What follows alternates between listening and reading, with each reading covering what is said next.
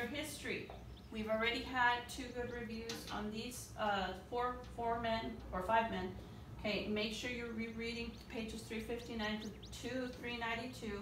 You will have a test, and I believe it's also a map on this as well. Um, one of the things that, I'll, I'll cover that in a bit, but one of the things we need to cover is this area right here. The Pacific Northwest and the Southwest, we did not cover too much. And I wanna make sure that y'all remember your states. The last place we stopped off was like in the Midwest, in this area region right here where Texas is. So I'm gonna review some of the states because as I was quizzing y'all this past week, y'all did not know kind of these right here. Okay, so it is Washington, Oregon, California, it's Nevada, Idaho, Montana, Wyoming, Colorado, Utah, Arizona, New Mexico.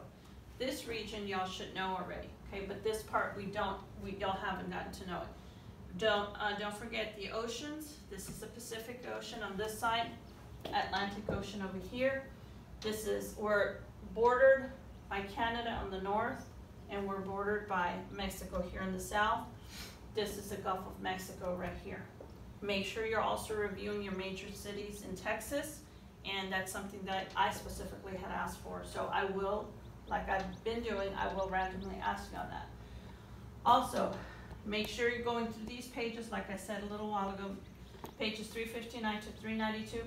George Washington Carver, okay, um, there were two major things that I want you to learn about him.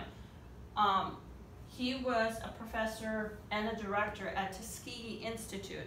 He was invited by uh, Booker T. Washington to fulfill the role of director uh, of agriculture at the Tuskegee Institute.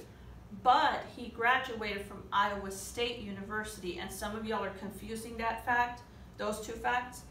So make sure you separate those two.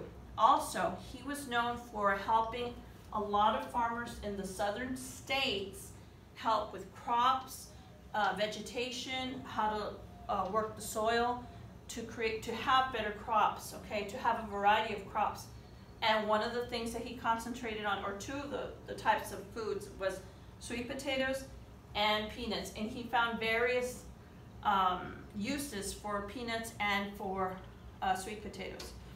Okay, so make sure you're reviewing the information still on these on these men.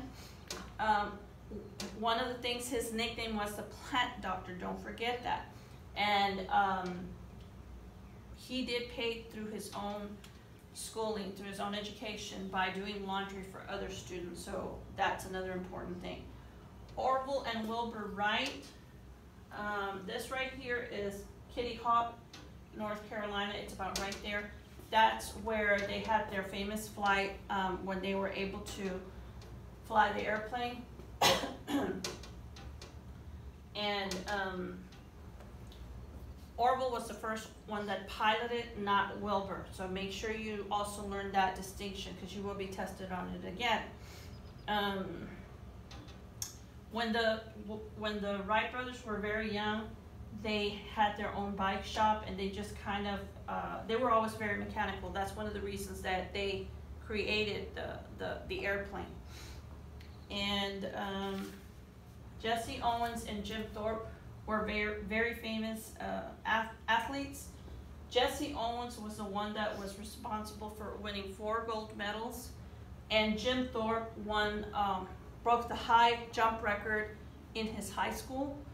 And um, Jim Thorpe even fought against or played against uh, the President of the United States, Dwight David Eisenhower.